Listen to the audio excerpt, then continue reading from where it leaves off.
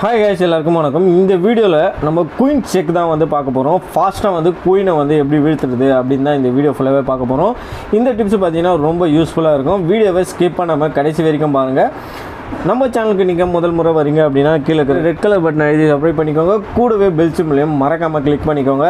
இப்போ தான் நீங்கள் வந்து செஸ் வந்து விளையாட தெரி கற்றுக்குறீங்க அப்படின்னா உங்களுக்கு வந்து எந்த காயின் எப்படி வந்து யூஸ் பண்ணுறது அப்படின்னு தெரியலனா உங்களுக்கான வீடியோ பார்த்தீங்கன்னா நிறைய வந்து போட்டுருக்கேன் ப்ளேலிஸ்ட்டில் இருக்கும். மறக்காமல் அது எல்லாமே பார்த்தீங்கன்னா செக் பண்ணி பாருங்கள் ரொம்ப யூஸ்ஃபுல்லாக இருக்கும். உள்ள போயிடலாம். ஃபஸ்ட்டு பார்த்தீங்கன்னா நம்ம வந்து டூ ஸ்டெப்பு வந்து மூவ் பண்ணுறாங்க நெக்ஸ்ட்டு நாம் என்ன செய்ய போகிறோன்னா இந்த குதிரையை வந்து மூவ் பண்ணுறோம் நெக்ஸ்ட்டு அவங்க என்ன செய்ய போகிறாங்கன்னா இந்த சிப்பாயை வந்து மூவ் பண்ணுறாங்க இது எல்லாமே பார்த்திங்கன்னா நேச்சுரல் மூவ் தான். ரொம்ப சூப்பரான மூவ் நெக்ஸ்ட்டு நாம் என்ன செய்ய போகிறோம்னா இந்த சிப்பாயை வந்து டூ ஸ்டெப்பும் வந்து மூவ் பண்ணுறோம் இதுக்கடுத்து அவங்க என்ன செய்ய போகிறாங்கன்னா நம்ம சிப்பாயை வந்து போட்டு தள்ள போகிறாங்க இப்போ நம்ம சிப்பாயை போட்டு தள்ளனா நாம் இந்த குதிரையை வந்து த்ரீ ஸ்டெப்புக்கு வந்து வைக்கணும்.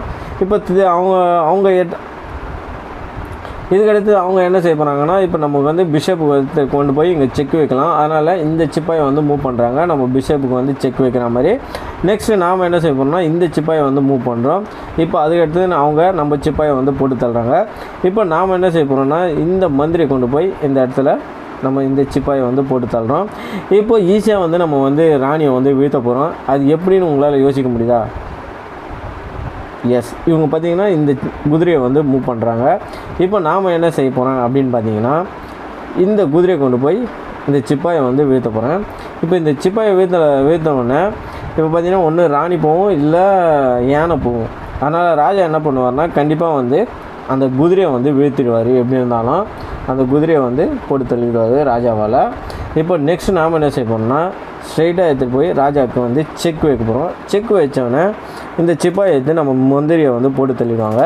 நம்ம ஈஸியாக வந்து ராணியை வந்து போட்டு தள்ளிடலாம். அவ்வளோதான் இந்த மா இந்த மாதிரியும் வந்து செஸ்ஸில் வந்து விளையாடலாம். இந்த மாதிரி வந்து சூழ்நிலை ஏற்பட்டதுன்னா இந்த மாதிரி நம்ம வந்து செஸ் கேமை வந்து விளையாடி ஜெயிக்கலாம்.